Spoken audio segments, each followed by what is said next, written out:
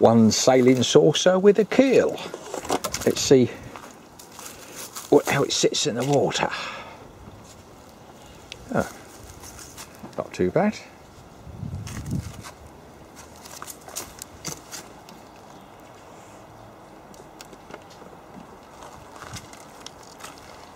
Put the rudder over there. Right, let's see what happens if we try to tip it over. Oh, it doesn't want to turn over.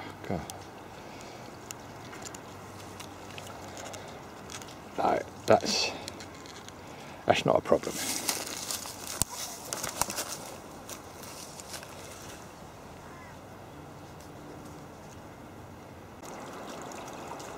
Yeah, just in case somebody wondered where the Peace Rose got to, we did lose one on Bray Lake, but we got a replacement easy enough.